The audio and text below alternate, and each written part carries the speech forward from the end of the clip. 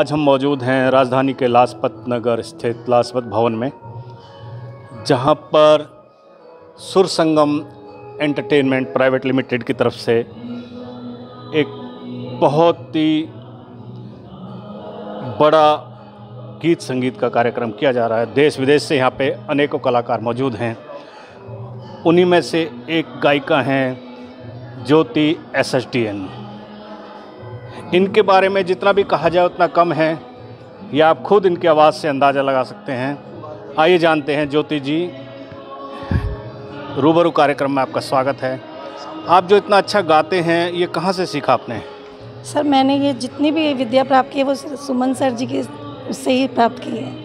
आज इन्हीं के कारण मैं यहाँ पे जो खड़ी हूँ वो इन्हीं की बदौलत है। इनसे क्या ऐसी शिक्षा मिली जो आप इतना अच्छा गा लेते हैं आज?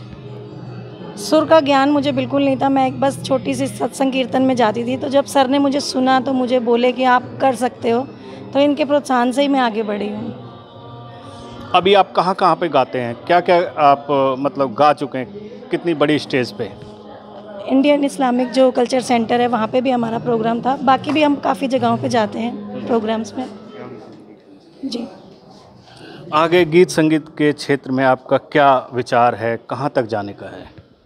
विचार तो यही है कि काफ़ी आगे जाऊँ ऊंचाइयाँ छूँ यही विचार है मेरा। हमारी शुभकामना है आपके साथ। आप हमारे दर्शकों को भी लंबी जुदाई का एक स्टेंजा सुना के दिखाएँ।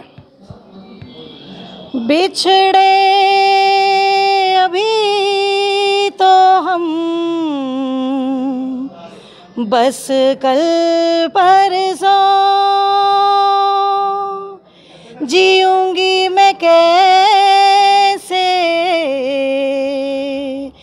इस हाल में बरसों मौत ना आई तेरी याद?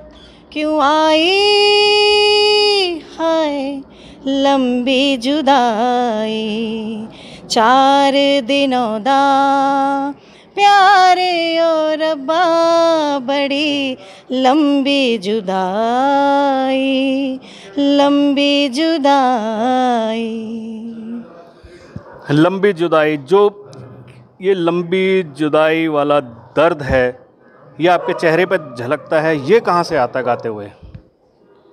बस मैं जब भी गाती हूँ तो कुछ भाव जो है वो चेहरे पे आ जाते हैं ऐसे ये भी आता है। बहुत खूब। हमारी शुभकामनाएँ आपके साथ हैं। आप संगीत के क्षेत्र में अपनी सोची हुई जितनी भी ऊंचाई हैं, वो उस पर पहुँचें। कामयाबी आपके कदम चूमें। कैमरामैन कौशल कुमार के साथ VP Sharma I news thank you